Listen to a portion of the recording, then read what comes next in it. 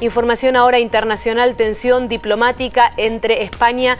y el Reino Unido, quien envió en las últimas horas tres buques a Gibraltar en pleno conflicto entre España, decíamos, y el gobierno del Peñón de Gibraltar. El ministro de Defensa británico confirmó la llegada a Gibraltar de un buque de guerra de la escuadra Royal Navy que partió del Reino Unido el lunes 12,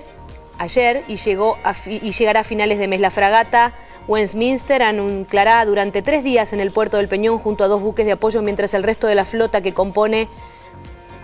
la flota va a continuar la travesía hacia el Mediterráneo en el inicio de un despliegue que tendrá una duración de cuatro meses. Los ministerios de Defensa y Ministerio de Exterior de España han confirmado haber recibido la petición del Reino Unido para recalar en